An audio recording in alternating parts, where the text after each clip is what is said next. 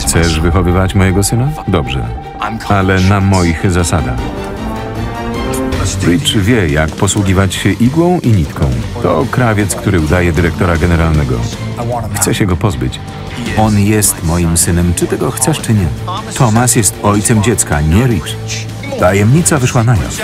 A teraz dowie się o tym cały świat. Gdy ktoś atakował rodzinę, babcia walczyła wszelkimi dostępnymi środkami. Zaszczepiła to w nas.